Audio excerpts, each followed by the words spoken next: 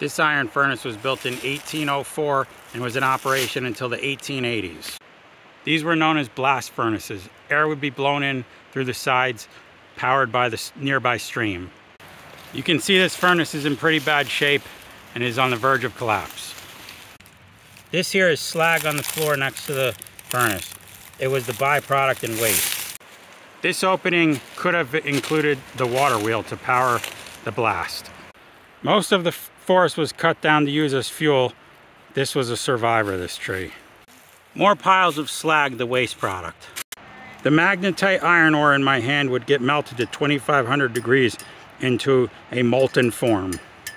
Workers would have walked on this bridge to dump the iron ore, the limestone, and the charcoal in order to fuel the fire. The original rail bridge to get across the stream.